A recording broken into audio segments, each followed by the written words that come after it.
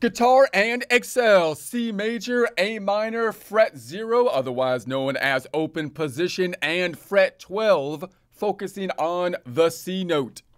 Get ready and some coffee. Now get pumped. Get ready. Now go. Because you know the world's going to hell in a handbasket.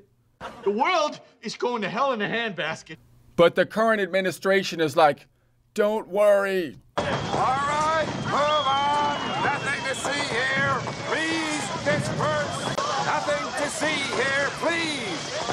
I've got a plan to stop the world from going to hell in a handbasket. I have a plan. You have a plan? By requiring you to pay extra at the grocery store for hand baskets, resulting it resulting in fewer hand baskets being used so that you little American citizen hellions have nothing to carry the world to hell in. Go to hell, go to hell, go to hell, hell, hell, go.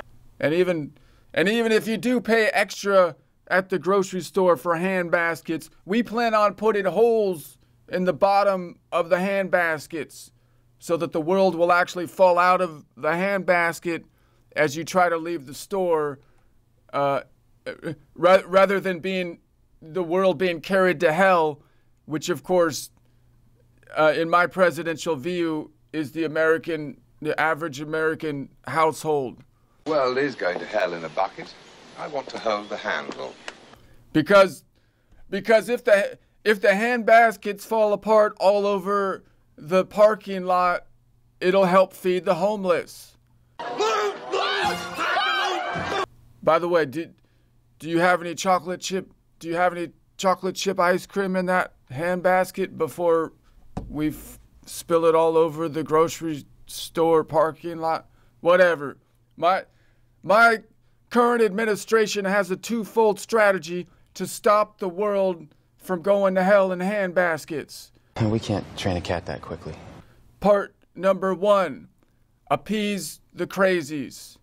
And part number two, death to hand baskets. Unless, of course, the hand baskets are being carried by the crazies. But that seems kind of self explanatory because, in that case, policy number one, appease the crazies, trumps policy two, death to hand baskets.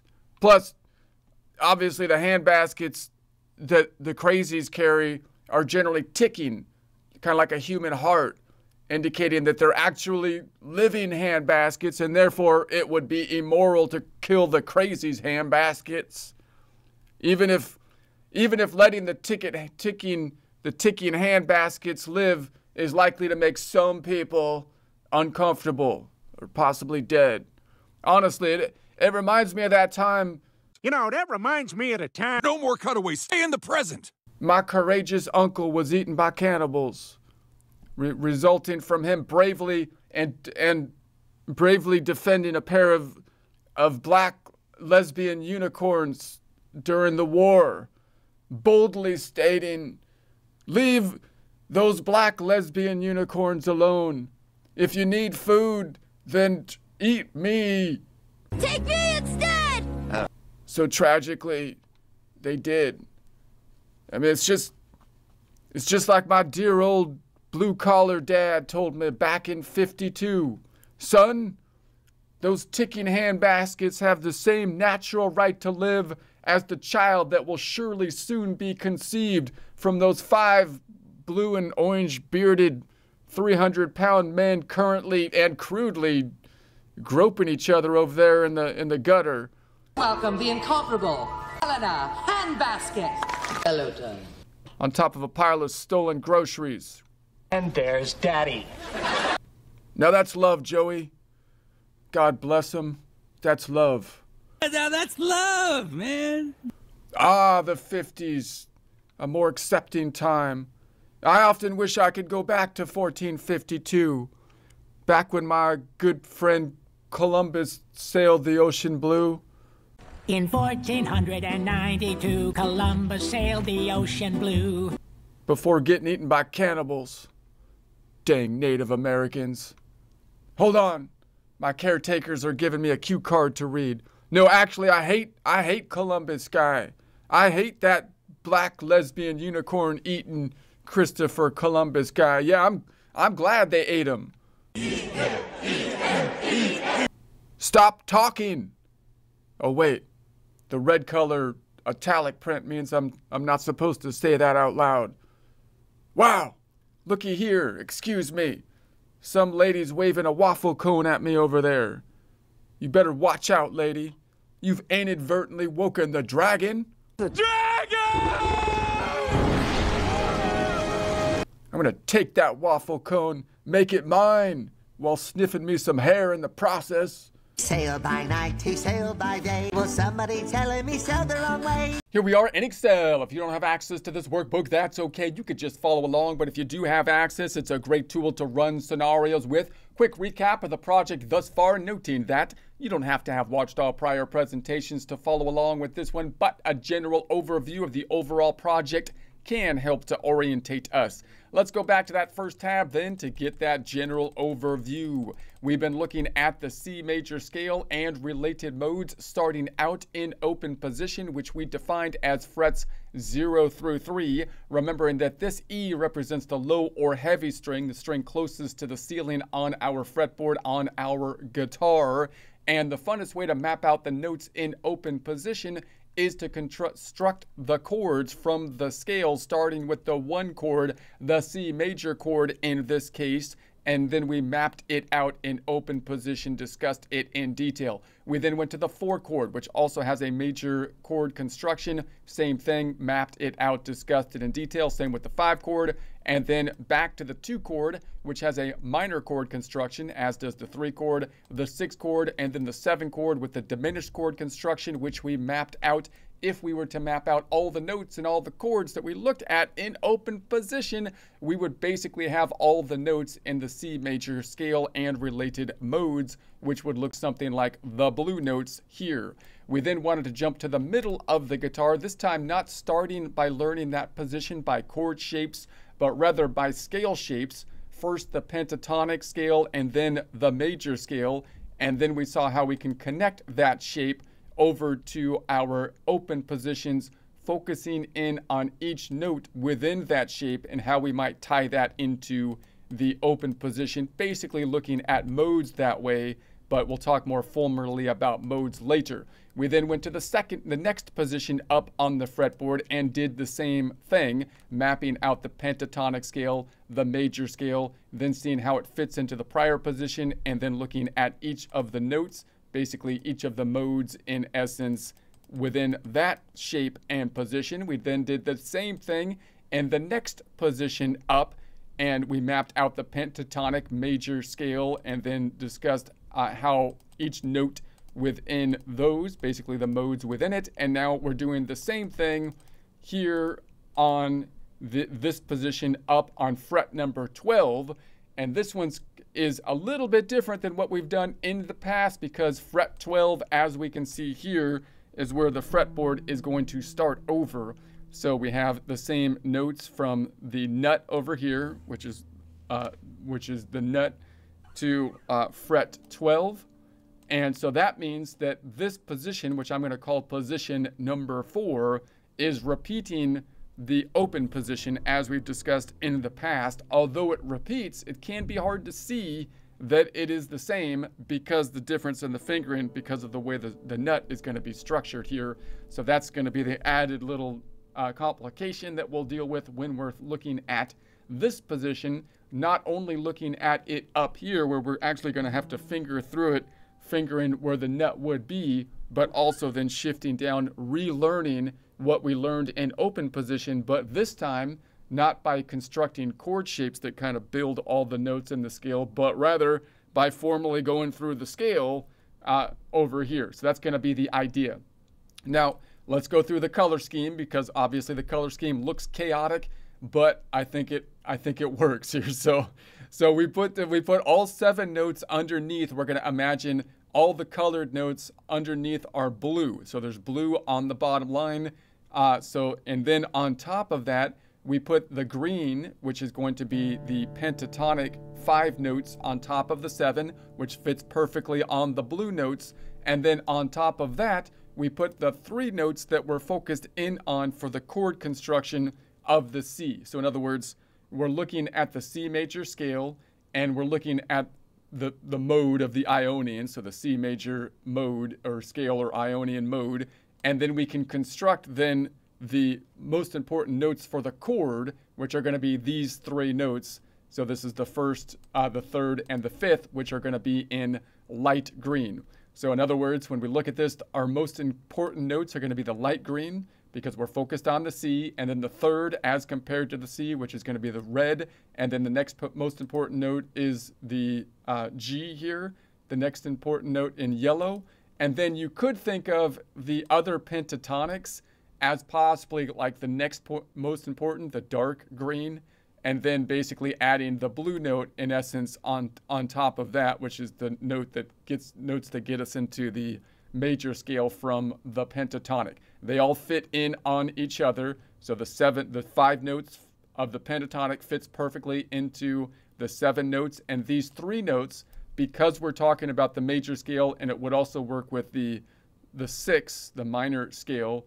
Those three notes fit perfectly both within the five notes and, of course, within the seven notes. Okay, so then when we looked at these positions on the guitar, we're trying to break the guitar into four to five fret positions because the guitar is designed not to play like a piano as we're playing up the whole string, but to be able to play everything within a hand shape position. It's designed to fit our hand, obviously. So we jumped up to the middle of the guitar. We called that position one. Now, the reason we call it position one, and remember, as we, we, we can also call it a G-shaped position. That's going to be this orange over this red box. That's what the red box means. And notice that we always look at them, if you want to call it a G shape, you always have to kind of go back to the related major scale, which is what we're looking at here. So in other words, if you went to another mode, then you'd have to go to the related major if you wanted to call it a G shape, is the general idea. We are in the, the one chord of a C major, so therefore we have the C shape that you can also use to name this. I'm sorry, we have the C major chord, which up here is in a G shape that we could use to name this area. Now, this shape, you'll note, fits uh, within the five note pentatonic. It's, a, it's only a three note shape, it fits within the green five note pentatonic shape uniquely, which is why we can name the five note pentatonic shape with like this G uh, shape. And it doesn't fit uniquely into the seven note shape. So that's why you, you'd kind of like to, to, if you're using that G to target where you're at, think about the pentatonic shape and then add the two other notes to get to your major shape. Okay, so that's the general idea. The reason it would be a G in that position is because if I held my G down like this, we have it here. If I move that G up to here, boom, boom, and then you've got these three notes in here. So you'd actually play it something like this up top and then something like this down below. Now within this red shape, uh, notice I put the red inside on this side when it's overlapping and then it, and then it's overlapping with the orange shape so it's on the outside over here. So that's going to be the idea. So that's where the red shape is. And then this shape number one then goes into shape number two. There's overlap between these two shapes. So within these two shapes, the red is on the outside, and then the then within inside is the next shape, which we can call an an E shape. So this is what you might call an E-shaped C major, and it looks like this because if I was to go back on over here, this would be the E major shape, and if I moved it up here, I'd have to bar this off. So you've got that uh, uh, E shape, so it goes boom, boom, boom, boom, boom. That's our normal bar chord. Within here, it's inside of the red because this is in between both shapes. And then out here, it's going to be outside. And then we're going to go from that shape, which we can call two or the E shape, to shape number three, which I would call shape number three. You can also call it the D shape because if I look at this C, I'm looking at a C, but I'm looking at the D shape within it. So we're going from like here's the octave up top. So there it is right there. So it would, I play it like this. So it would be then this C, that uh, G, and then this E. And then if you can grab that other C, you'd have to maneuver your finger in to do that. I don't typically do that because my fingers aren't that flexible, but you can see a little D shape up here uh, with those three notes, which is the same as this shape down here, but we're leaning it back towards uh, this towards this C. So that's going to be that one. And so again, uh, when we're leaning forward, the green is on the inside, and then it's on the outside where it overlaps basically with the blue. And then finally, we're on the blue shape over here, which is going to be what I would call shape number four, and that's going to be our point of focus. You can also call that the C shape, and we can call that the C shape because you can see over here that the C fits right here. This would be my finger in like an open position. The C, this would be the same blue on this side. If I move that all the way up here, you see the same finger and boom, boom, boom there. Now that fingering isn't perfect to make a C on, on over here, but you could see the fingering, how the fingering works. It's not exactly a C major because we're missing the fifth because you'd have to mute that string, although you could ring it out open if you wanted to, and then you'd be playing it an octave lower, but you'd get it. But in any case, that's going to be the the the shape that we are uh, in at this point in time, and and the reason we want to play it up here in the 12th shape, even if some people don't have a guitar that really fits up here because you might be playing with an acoustic, is because you see the overlap. And that overlap becomes important when we shift to different keys because obviously if we shift this whole position up, then that's what would happen if you play like in the key of G or something. And so we want to be able to see the overlap going from this position to this position, how how they blend together and how we can we can transition between the two positions, which you can see more again if you used other chords or other uh, scales. So then obviously that also repeats this position number four here is also going to be repeating in the open position. The open position causing us a little bit more difficulty. It's easier to play in open position because of the nut, and we can reach a little bit further, but our fingering, instead of being on these four places, are moved up here. So that actually causes a lot of confusion to try to recognize that this shape is the same here as it is up here and that causes a lot of confusion because most people learn the stuff down here by just learning chords. And and now that we learned the shapes it doesn't look like any particular shape that we worked with because my fingers are not in the same position as the shape if I was to play it in some other area on the guitar okay? So that's going to be the the general idea. Now how can we practice this?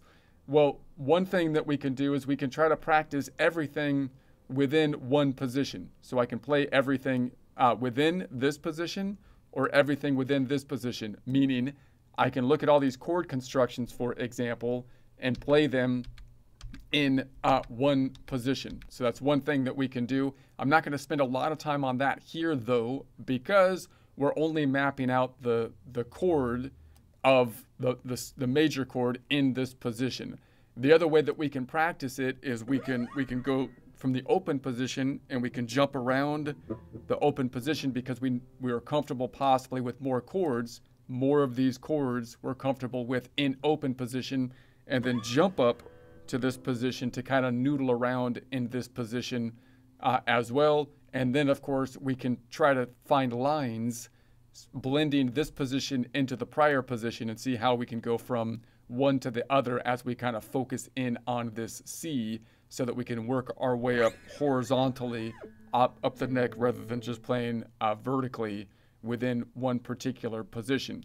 Now, also just note that since we, these two shapes are the same, we can also play with like some symmetrical kind of uh, things, right? I can say, well, here's my C and here's my my uh, F, you know, and so on, and I can try to play that here, right, and play those same shapes in terms of chords. So even though you don't know the chords up here, in other words, maybe you don't know them as well. We'll take a look at each of them as we go through these notes. You do maybe possibly know them over here.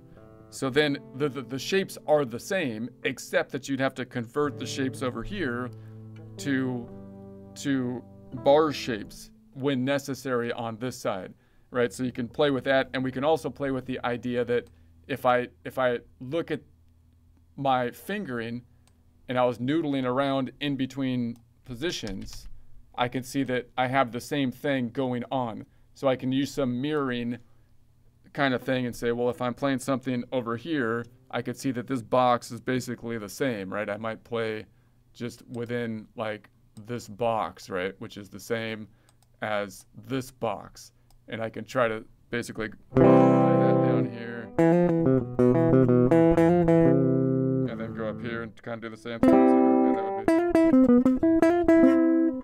So, you have that kind of mirroring thing that you can you can do because these shapes are the same and that can help us to get an idea of them being the same even though our, again our fingering is uh, a little bit different all right let's first go through and just finger through uh, in open position the scale now as we finger through the scale we always want to start and stop on the note that we are in so we're going to be in the, the C in this case. So I'm up here.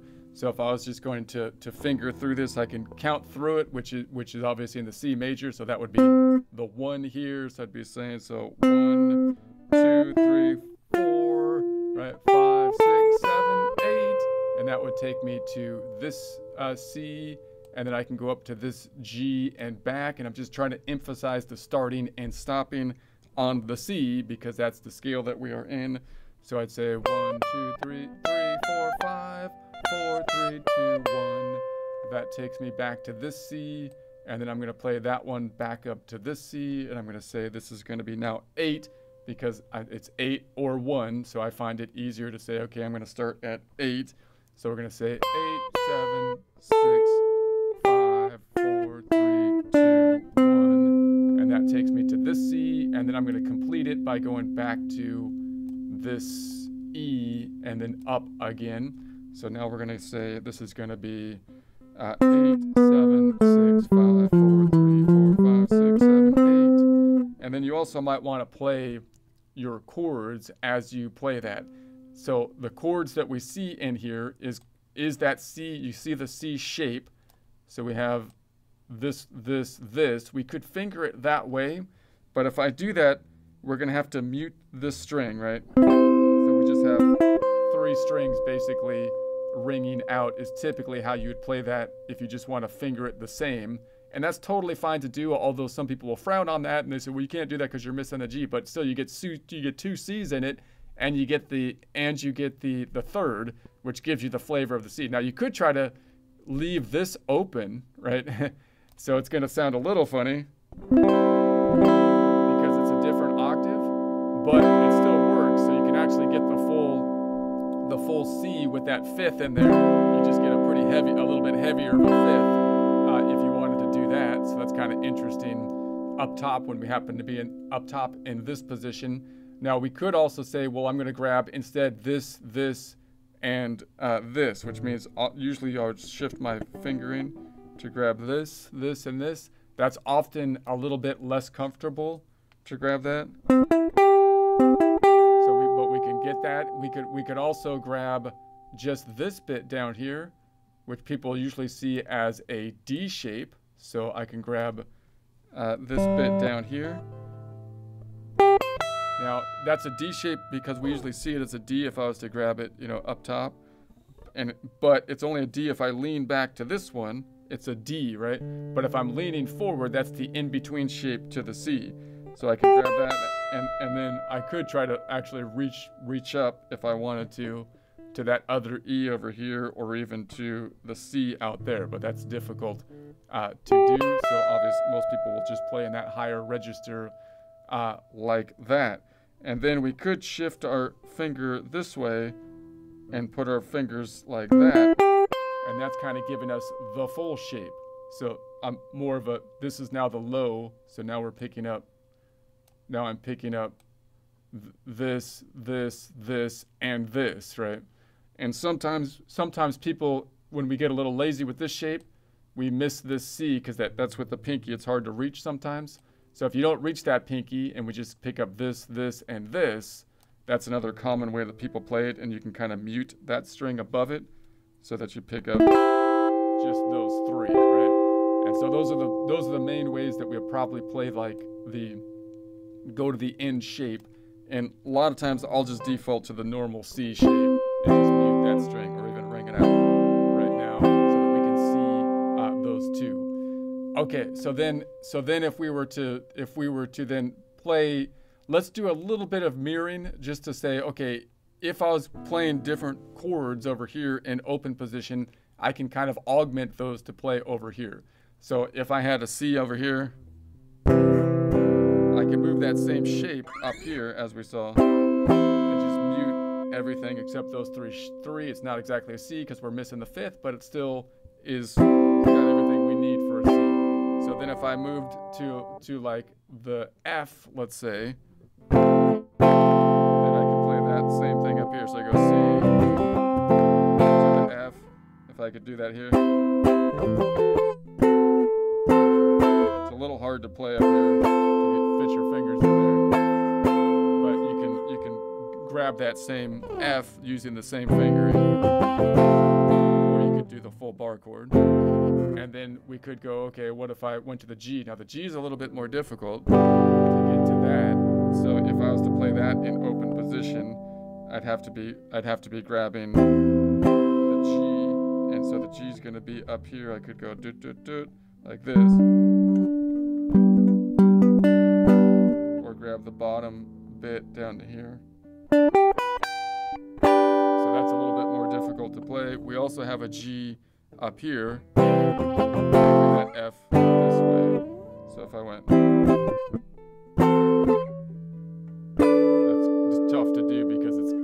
cramped up there. But we have that, right? And then, so that's the G. If we went back to the D, this is a D minor. So if I C to a D minor, I could do that up here and say, okay.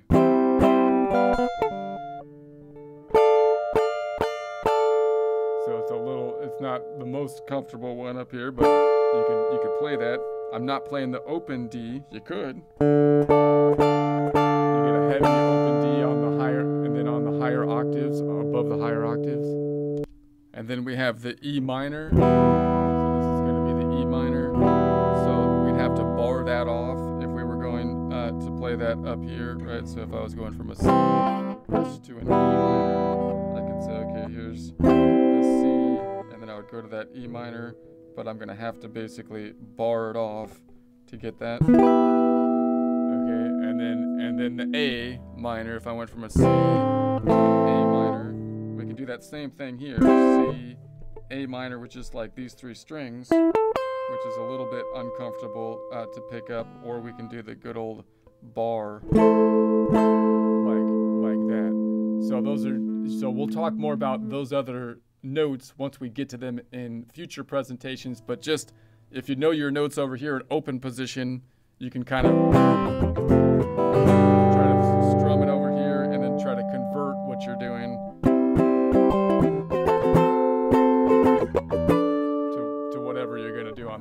Okay, so the next thing that we could basically look at is say, okay, what if I'm going to strum around in open position and then jump up to this position? Now, as we do this, I'm going to try to noodle, I'm going to try to do my the, the, the mirroring technique and see if we can kind of noodle around. So if I'm going to first focus in on this C, then I can see that I have basically this little box within here that we can play. So maybe that's the first place that we can kind of start as we jump back up and back and forth to try to to try to get an feel for where that box is in you know both positions. So if I played it up here, and I over here, I also have those two open ones as well. So I could reach back to here by just opening up and having an open position. If I play that up here, starting here, On this. And then if I wanted to play it, so if we go above it here, we can see this shape. We have these three up top, so I could play that like this way and kind of noodle around uh, with that shape. So here's my C, and we're up here, so I could be picking this.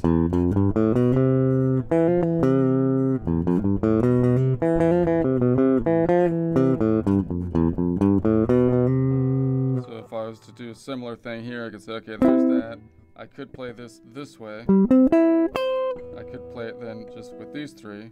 And then if I wanted to, to grab these upper strings, I'd have this one.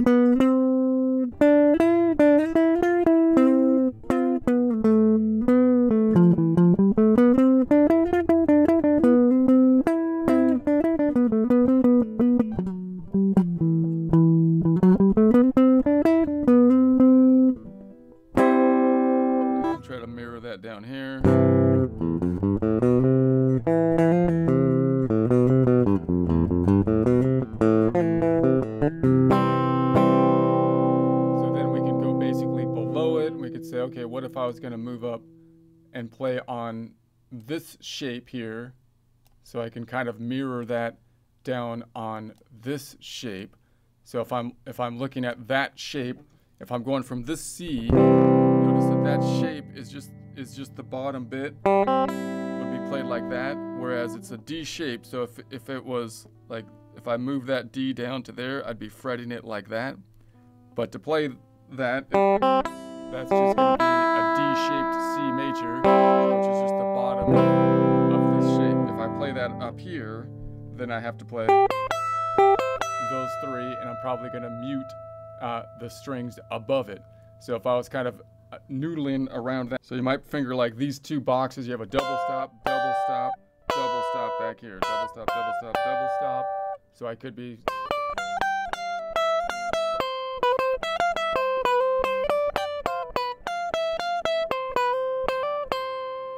And then the same thing down here. So if I was playing an open position like that, then back here I have double stop, double stop, double stop. Right, so I could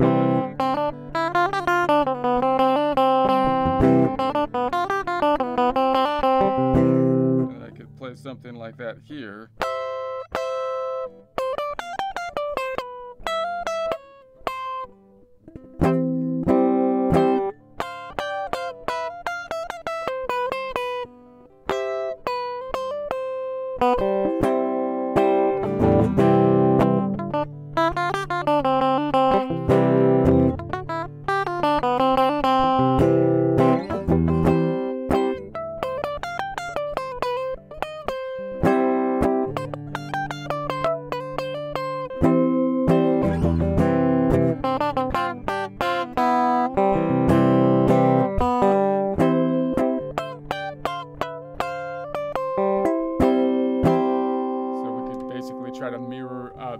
Back and forth, going up in uh, the upper register uh, type of position. And obviously, we can then kind of noodle around in between multiple chords and try to jump up as we saw in prior presentation using a similar technique so that we can then target particular notes up here. So I might be playing like a chords on this side.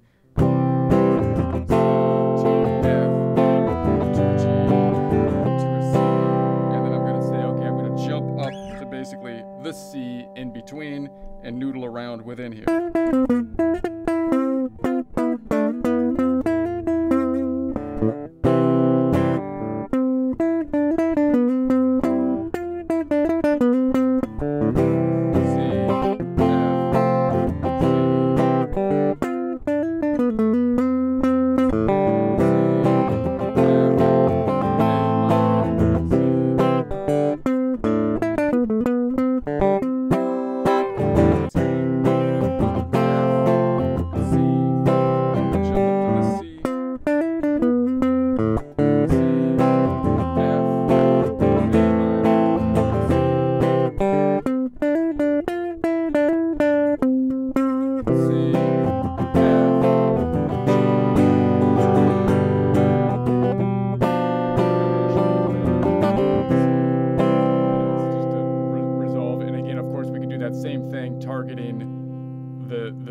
Down here as we're just strumming in open position and then jumping up to this C.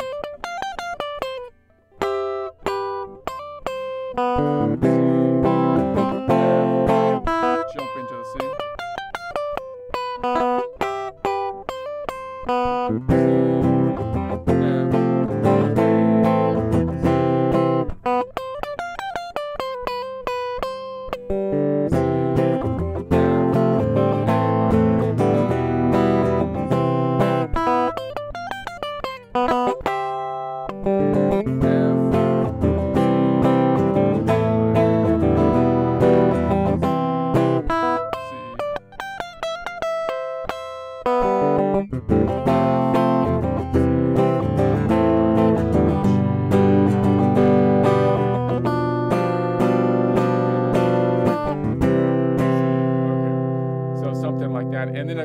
could say, okay, how could we basically tie these positions together?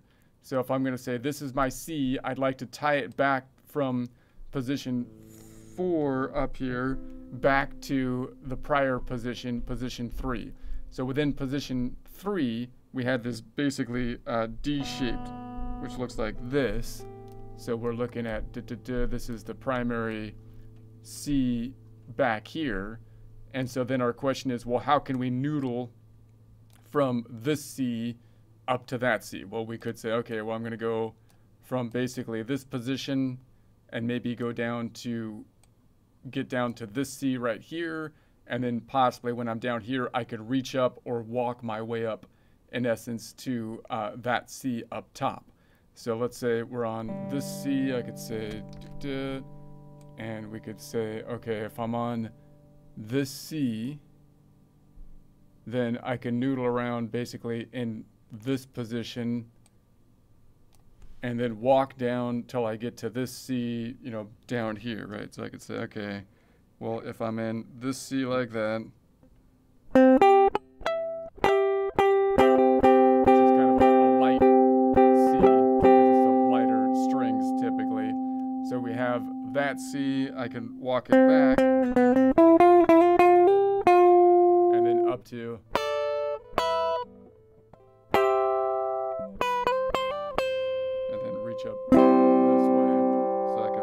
back the other way. I'm basically looking at my index finger again. So now my or my pointer finger is on this C. So if I'm I could see my pointer fingers on that C and I know I have this box and I'm, so I'm just walking back now from uh, this position. So now I'm on fret 12. I can bring that back to here. And that brings me back position. So I could start to walk up instead of going down to this C, maybe I can go up to this C up top. So now I can basically say, well, I have my same position here. I have my double stops all the way across. So if I'm playing this, I can go back.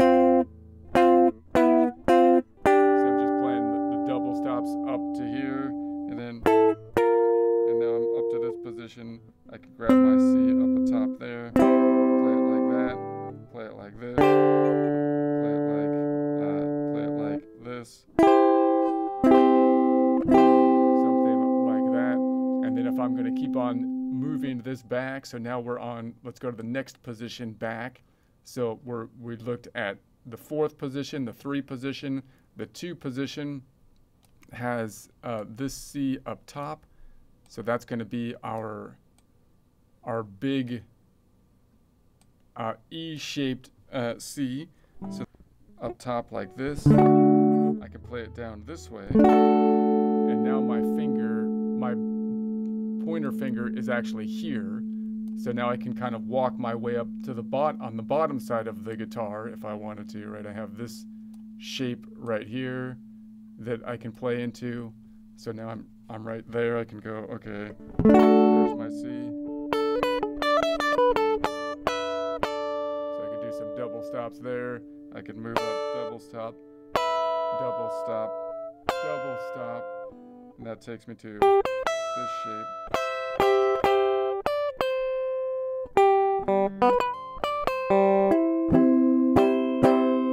So let's just keep moving back and we're going to say, okay, if I'm looking at that C and then I'm going to move it back from that shape to this shape. So now we're on, we're going to be on uh, this C, which is reaching up to this C. So this is our G shape. This is in our, possibly our most familiar position oftentimes.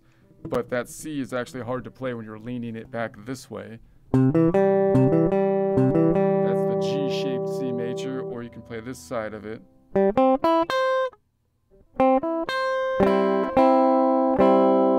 then if I'm playing something uh, within this side, you might you might just play it like this is the A, like that. When it, an A shape when it leans back this way, when it leans forward this way. That's why I'm calling it a G shape in position one or the G position. And then again, of course, I can noodle around possibly until I get to that C. which is pro- which might be my most comfortable maneuver, right? Because This is in most familiar shape, so I can play.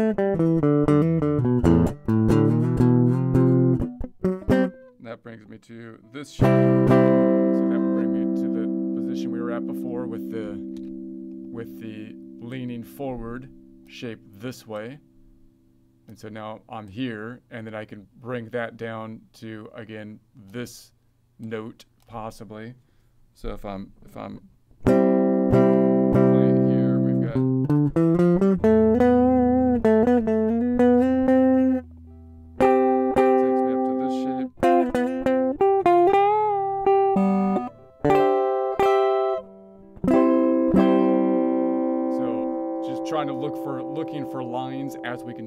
play through these shapes. This next one is an A shaped. We haven't played with it as much. We'll take a look at it in our next section, position five, or an A position.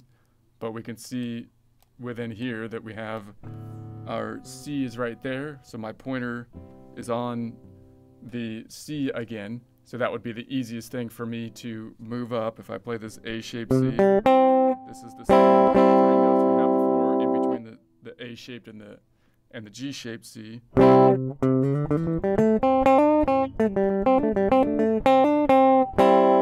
that takes me to the, this C shape, which is leaning forward now, which is the forward leaning part of the A.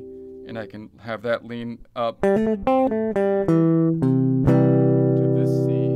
So now I'm leaning up to this C. I'm grabbing it with my pinky though, which isn't the most comfortable. So right, and then I could try to get my this finger up to that C, which would be the easiest thing to do which is some double. Right, just some double stops or. And that'll take me up to here for that C, and then I can bring that position up.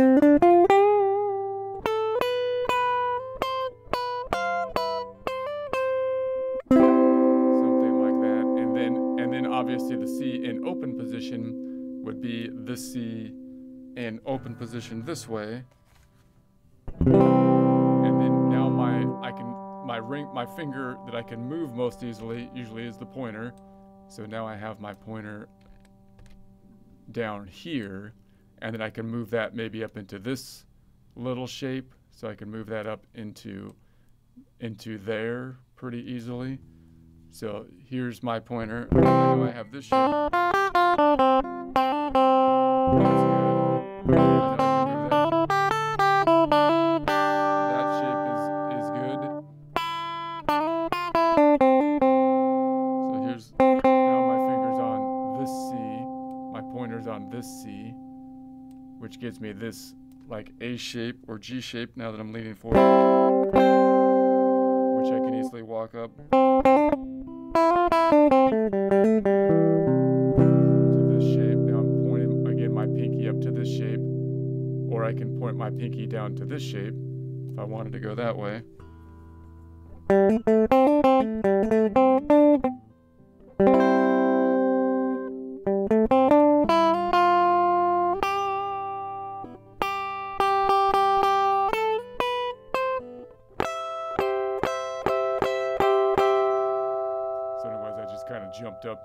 Now I'm up to this here, right here. Now I'm within my position.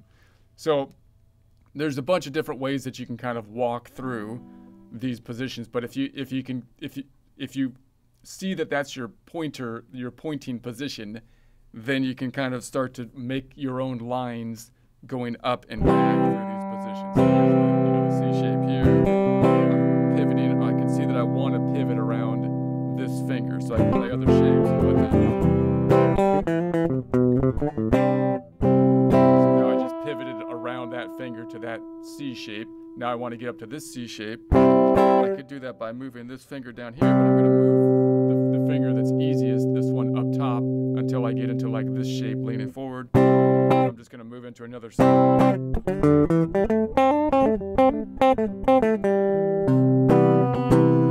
now I just pivoted around this finger, and now I'm up to this Mm-hmm. top, and and now I'm I'm hitting that one with my pinky though. I want to pivot around it to get to my ring finger up here. So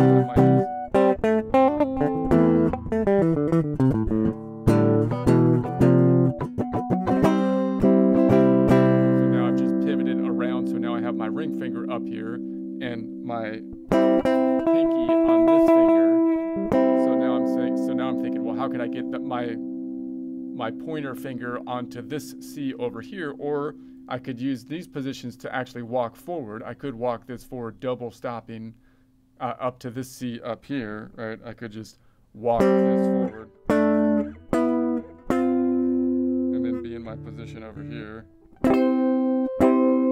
Or if I'm in this position, I'm going to try to get this pinky finger down to here, basically.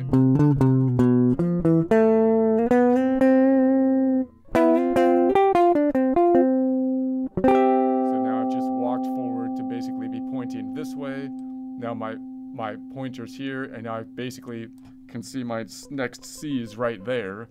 So I can kind of noodle my way up to get my pointer finger to this second octave on the C. So we could play something like, you know, this up here.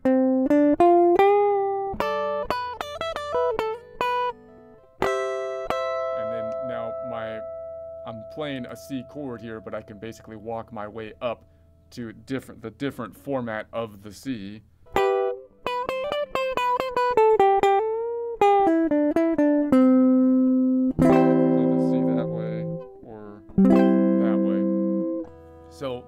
a couple couple ideas to kind of walk through the C. We've probably looked at the C most because that's going to be the, this position. We'll do the same thing in future presentations, looking at the different modes. Uh, the the D next, which would basically be a Dorian.